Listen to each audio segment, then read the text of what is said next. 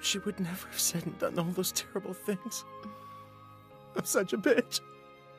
It's tough, but learn from this and move on. You pansy! I know.